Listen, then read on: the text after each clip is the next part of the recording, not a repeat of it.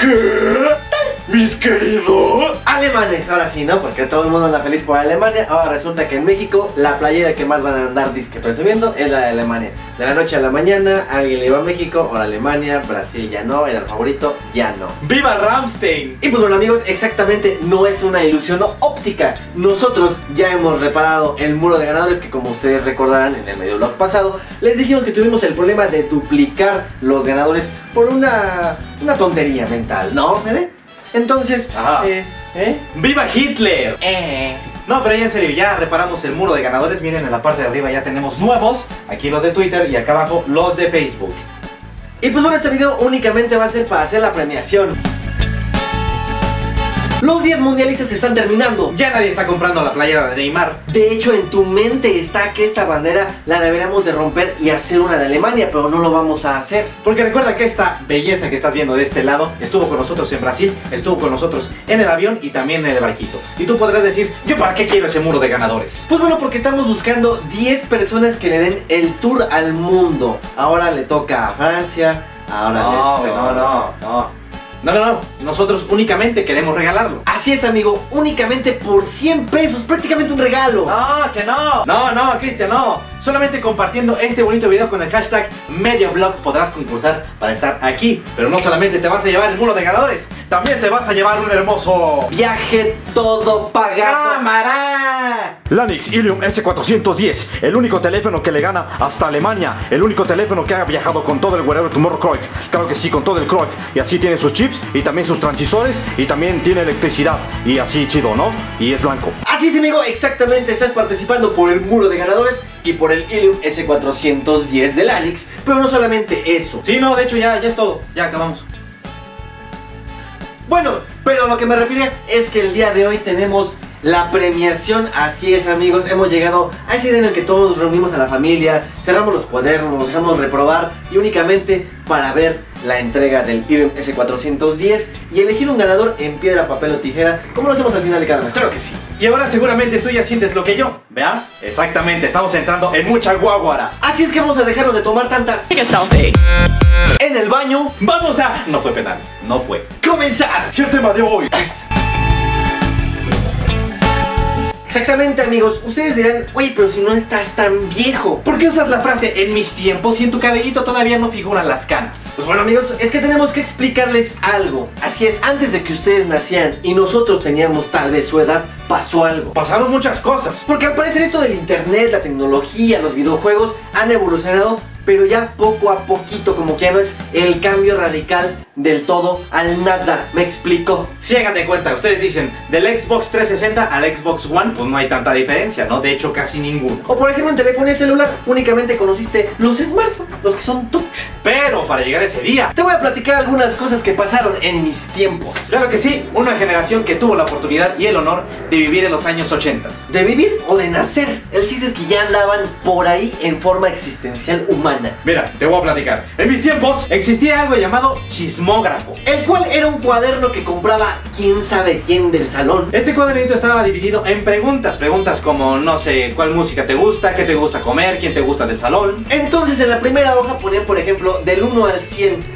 Entonces a lo mejor te tocaba el 5. Y ya, pues todos los que eran 5 en adelante, pues eran las respuestas tuyas. Y ya sabías a quién ligarte, a quién no, quién estaba loco, quién te caía mal, a quién odiabas. Digamos que el chismógrafo es como si fuera Facebook, nada más que mejor, porque ahí estabas con la gente, ¿no? Conviviendo con gente real. Y lo mejor del chismógrafo, había una cosa que se llamaba hoja libre. Y ahí pues todo el mundo llenaba de groserías. O de dibujos cabrones que luego decías quién dibujó esto y nunca sabías. En mis tiempos había un aparatito llamado Tamagotchi. Así es, el Tamagotchi, la famosa mascotita virtual. Se supone que en este huevito tú tenías un animalito, llámese un patito, un perrito, un gatito, un humano, hasta un alien. Le tenías que dar de comer. Cuando se enfermaba venía una jeringuita y supuestamente ya lo curabas con eso. Cuando se cagaba le tenías que andar limpiando las popós. Lo bañabas también. El chiste es que entre más cuidados, más crecía. Entonces la gente presumía que su pollito ahora era un pollo gigante, emplumado, enorme y orgullosamente listo para morir. El problema es que si tantito se te pasaba algo, ya, se chingaba el pollo, se moría. Y obviamente en mis tiempos esto fue un problema en las escuelas y con las familias. Porque nos distraía mucho y nos quitaba mucho el tiempo, como es hoy el celular para ti. En mis tiempos había algo inalcanzable llamado Game Boy. Sí, seguramente en tu cabeza están pasando imágenes como el 3DS o algo así, pero no, era algo así. Un tabique en fondo verde con líneas negras. Y así como lo ves de simple, esa madre era carísima. Es por eso que en mis tiempos se llegó a inventar otra maravilla, el Tetris. Así es, la consola que suplantaba al Game Boy, pero era para los pobres, o sea, para mí. Pero aunque no lo creas, también estaba igual de divertido. Muchos lo verían así como que, ah, qué fácil, todos lo pueden hacer, pero no. Entonces, además de económico, divertidísimo. En mis tiempos la conexión de internet venía por parte del teléfono. Ahora tu mamá te dice, apaga el wifi. Pero antes si tu mamá quería hacer una llamada de emergencia, te tenías que desconectar. Porque para esto en mis tiempos, el teléfono en la casa era elemental. Antes no todos tenían celulares, entonces necesitabas más el teléfono. Y obviamente lo hacía incómodo porque o usaban el teléfono o usaban el internet. Era el mismo cable. Y antes era muy lento el internet, pero con eso, con eso estábamos felices. En mis tiempos no había Wikipedia. Así es, hermano. No había Wikipedia, te preguntarás cómo le hice para acabar la primaria y la secundaria. Forzosamente tenías que comprar las famosas monografías. Estas cosas que durante muchísimo tiempo fueron el negocio perfecto para alguien que no conocemos. De hecho, se llegaron a prohibir porque los maestros te decían, no quiero nada de monografías. Y compraban la monografía y a la hora de revisar la tarea veían que no fuera lo mismo porque todos llevaban la misma notita. O el mismo recorte o estampita. O sea, la cuestión es que los maestros querían que tú buscaras en los libros la información y no nada más la pasaras, sino que la memorizaras. Ja, pero adivina qué, nadie lo hizo. Por eso te digo que era como Wikipedia, pero de nuestros tiempos. En mis tiempos las televisiones eran grandes. Tú sabes que al llegar a una tienda de electrónica, la más grande y la más estorbosa era la mejor. De hecho, tú llegabas y decías, ¿cuál pesa más? No es exageración. Había algunas teles que no podías cargar tú solo. La pantalla era curva y hasta eso digo, no se veían mal, pero a comparación de las de ahora, pues sí, sí hay una, una diferencia enorme. Pero siempre la voy a amar porque ahí jugaba mi hermoso Nintendo en esa tele obesa. En mis tiempos no era tan fácil tener obviamente una computadora. Entonces tú te preguntarás, ¿estos cuates cómo le hicieron para entregar tareas formales? No hacíamos tarea. No, no, no, usábamos máquinas de escribir. Así es, un teclado que al presionar la letra, una patita imprimía la letra que tú presionabas en la hoja. Tienes que andar comprando cintas de tinta. De hecho, había negocios en los que te decían, se hacen tareas con máquina de escribir. Entonces las personas que lo tenían, te decían, pásame tu tarea, yo te lo traspaso y ganaba dinero. En mis tiempos, este sonido significaba que ya habías ligado. O que ibas a tener una plática amena y te la ibas a pasar muy bien. En mis tiempos no existía el Google Maps. Así es que para llegar de un lado a otro tenías que estar o preguntando O comprando una madre que se llamaba Guía Roji. O sea, se cuenta que es lo mismo de Google Maps, nada más que nadie te habla para decir la dirección ni cómo llegar, sino que tú tenías que andar viendo como laberinto dónde estabas y hasta dónde ibas a llegar. Así era, hermano. En mis tiempos no existían esas páginas para descargar música. Maldita lácara. Así es, no era tan fácil obtener música. Tenías que ir a una tienda a comprar cassettes. Y estos cassettes los tenías que poner ya sea en tu estéreo o si te querías ver acá farol mamón, en tus Walkman. Y obviamente después esto evolucionó al disco compacto, pero la forma de piratear ya fue más fácil. Y yo creo que esto a lo mejor le dio la torre a la industria musical. Sí, porque si antes querías piratear tenías que poner rec y play al mismo tiempo y tenías que chutártelo todo. Entonces imagínate que te quieras piratear un cassette de Arjona. Así es, hermano, te lo tenías que aventar todo. Play, rec. Así que no te le empresas disqueras porque el cassette los puede ayudar muchísimo. Bueno, no, tal vez no, pero a mí me gustaba mucho hacerle con la pluma así para regresarlo. En mis tiempos no había memorias USB. Y tampoco podías quemar en discos porque el disco simplemente no había llegado. Entonces en esta actualización tecnológica en la que yo tenía el cassette pero tenía un documento que guardar, lo usábamos o más bien lo guardábamos en esto llamado disquete. Así es que si querías guardar fotos o cosas importantes muy grandes, pues tenías que comprar como unos 10 disquetes. En mis tiempos para gastar en la escuela me daban mil pesos. Así es, y no es porque fuéramos ricos, sino que la moneda tenía ese valor. Mil pesos es como para ahora a ti un peso. Pero ni tan parecido al peso mexicano porque antes te podías comprar muchísimas cosas con mil pesos. O sea, es como si te dijera que tú ahorita con un peso mexicano te puedas comprar una torta, un frutzi y unos chicharrones. Y ahorita si al señor de la tienda le enseñas, oye, ¿para qué me alcanza con este peso? Te va a decir, pues para mi sonrisa nomás. En mis tiempos Gloria Trevi estaba en la cárcel. No, el otro, el otro. Lo otro de Gloria Trevi, sí. No, el otro. Ah, bueno, en mis tiempos a Gloria Trevi le descubrieron un rollo medio extraño con las canciones que tenía de moda, porque estaba hasta acá en ese tiempo Gloria Trevi y decían mensajes subliminales. Si pones la cinta al revés, había una cosa que decía, por eso debes obedecer, por eso debes obedecer, por eso debes obedecer.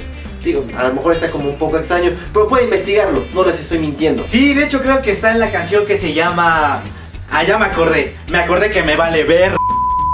No, pero de verdad, en nuestros tiempos fue muy sonado esto de Gloria Trevi y de hecho a la par, Federico, no vas a dejar mentir, en esos tiempos, en nuestros tiempos, existía algo llamado el chupacabras. Claro, el chupacabras era una especie de oveja alien, algo así. Era un animaloide que supuestamente se comía a todos los chivitos y los borreguitos del ganado de México. Y de hecho, en mis tiempos yo no me enteré del chupacabras con Dross, porque en este tiempo sería con Dross. En ese tiempo nos enteramos con... Con Jaime Maussan. Jaime Maussan era como nuestro Dross ahora. Entonces Jaime Maussan te aseguraba que, o bueno, quién sabe, a lo mejor todavía asegura que hay vida extraterrestre. Y seguramente sí.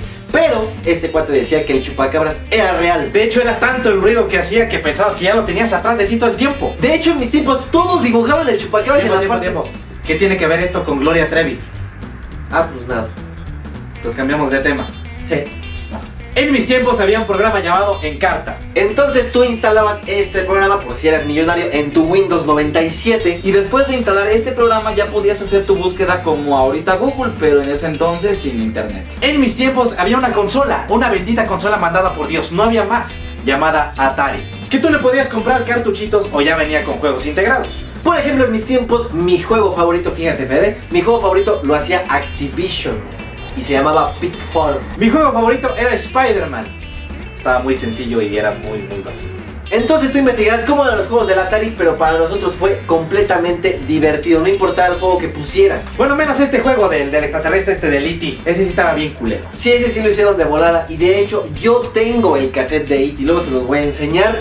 Pero este juego fue tan malo que fue enterrada en el desierto. En mis tiempos, los partidos políticos convencían a la gente de tener su voto, dándoles cubetas, gorras, playeras, útiles escolares y de hecho despensas también les daban los, los partidos políticos para que votaras por ellos. Y de hecho, en esos tiempos. No, no, pero espérate, todavía lo hacen, ¿no? Ah, todavía dan cosas. Sí, todavía lo hacen. Ah, bueno, olvídalo. En mis tiempos había locales de maquinitas, así es, de estas cosas por todas partes. Obviamente en mis tiempos no era tan fácil conseguir una consola para que estuviera en tu casa, ¿no? Entonces construyeron algo llamado arcade y aquí podías jugar únicamente por 50 centavos. Bueno, aquí en México eso costaba la ficha. Así es, una ficha que tenía una forma así especial, específica, para que pudieras jugar. Así es, y en mis tiempos este tipo de locales estaba lleno de gente, de gente joven, de chavos gastando su dinero en las maquinitas, en muchos regaños de tantas mamás que nos decían, no te gastes el cambio en las maquinitas. Y la verdad es que yo me gasté todo jugando Street Fighter y Metal Slug 1. O Mortal Kombat y Final Fight. O Capitán Comando, ese sí lo jugamos todos. Y la verdad no es por nada, pero sí se disfrutaba a diferencia ir a un local a gastarte el dinero así que ahora sentarte en tu casa y prender el Xbox a la hora que tú quieras. Había algo riquísimo en ir a ese tipo de lugares. Yo te voy a decir la diferencia. La diferencia es que no estabas tú solito y la tele y ya. La diferencia es que estabas con 20 güeyes conviviendo. En mis tiempos aún no existía la cura para el SIDA. De hecho, todavía no existe, Cristian. No existe la cura para el SIDA. No. Chingatos, ¿cómo se curó Magic Johnson? Es que en mis tiempos la gente era cabrona. Bueno, pues entonces en mis tiempos Magic Johnson se salvó. En mis tiempos era más entretenido ver un partido de básquetbol que ahorita uno de fútbol. A mí me tocó ver a Michael Jordan, a Pippen, a Stockton, a Barkley. Ahora tú nomás pides unos tenis Jordan y sabes quién era ese güey. Ese güey hasta jugó con Box Bunny, cabrón. Box Bunny, cabrón, o sea, un conejo más fuerte. No, no, nomás Box Bunny. En mis tiempos había caricaturitas más detalladas. Y con algún fin en común esas caricaturas. Ahora nada más te ponen el circulito platicando con el triangulito. Ah, pero ese sí es 3D, ¿no? Ya la tecnología, ya cabrona, no. O te ponen muñecos con las jetas bien raras. Y no es por nada, pero pónganse a buscar, no sé, los Looney Tunes de antes, la Pantera Rosa y se van a divertir, de veras que sí. O mira, para no discutir, busca Caballeros del Zodiaco, los de antes.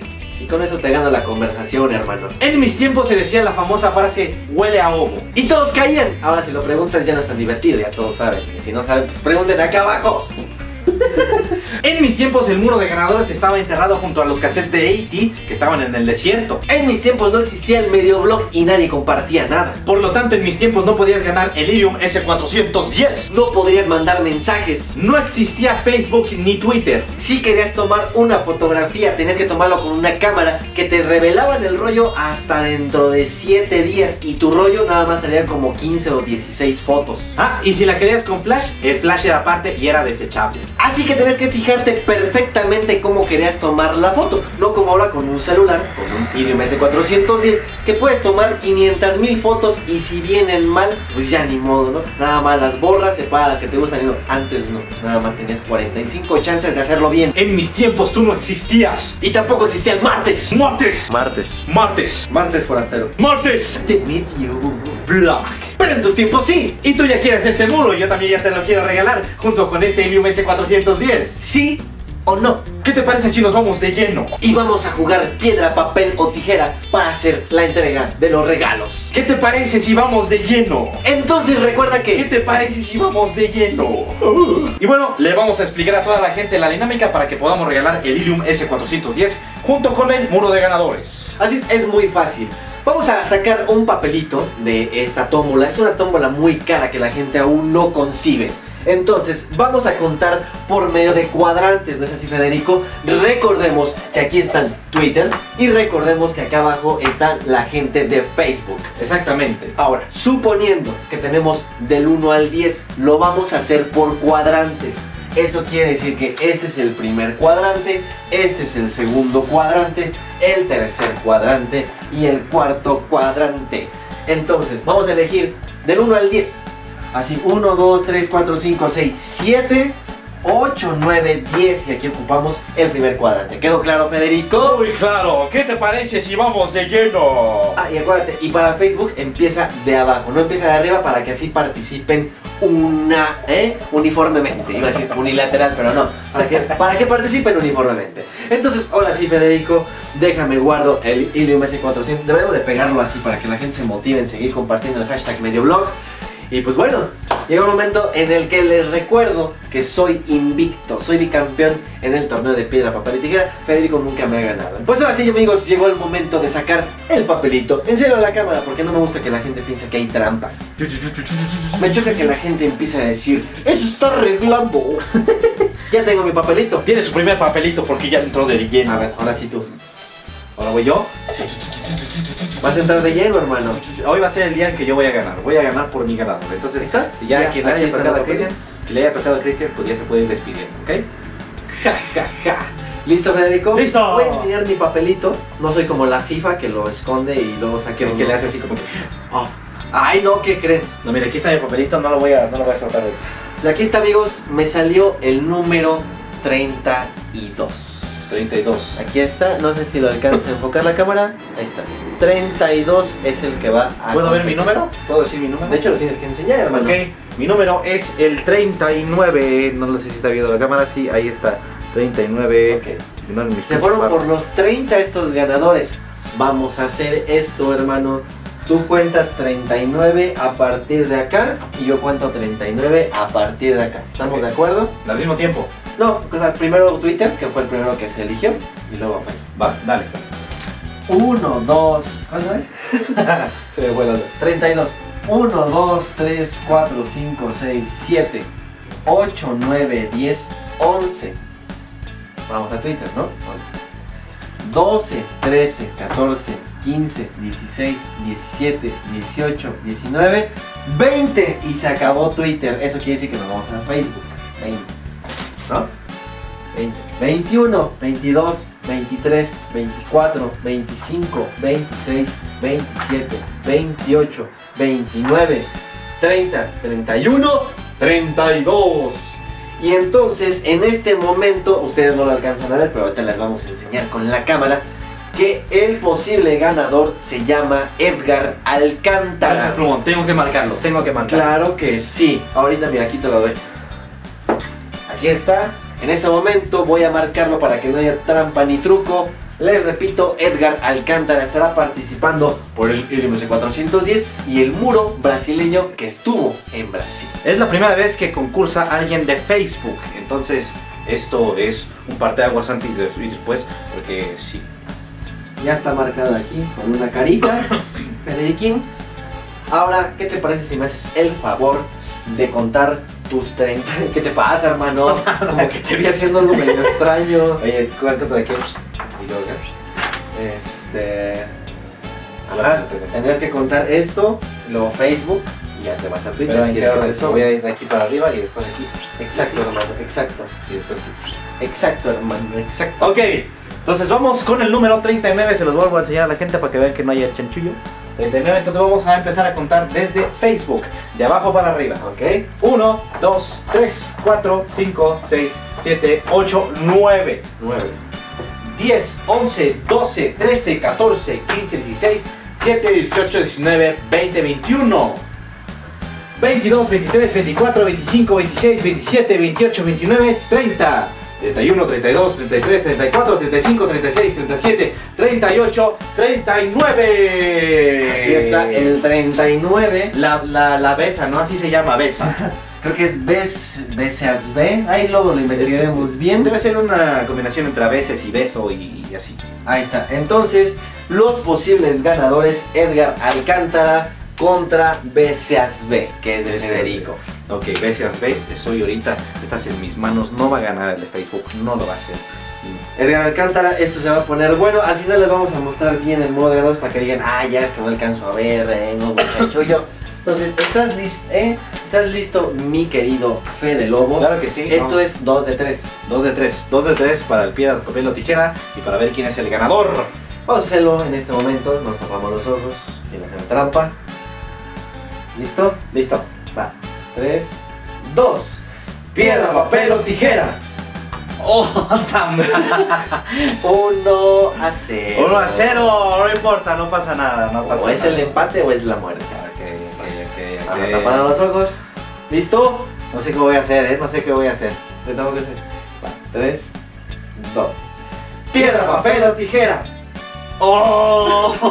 Ahí está, un empate. Va, va, va. Ver, Tres. aguanta, aguanta, aguanta. Bien, piénsalo bien, piénsalo bien. 3, 2. Piedra, papel o tijera.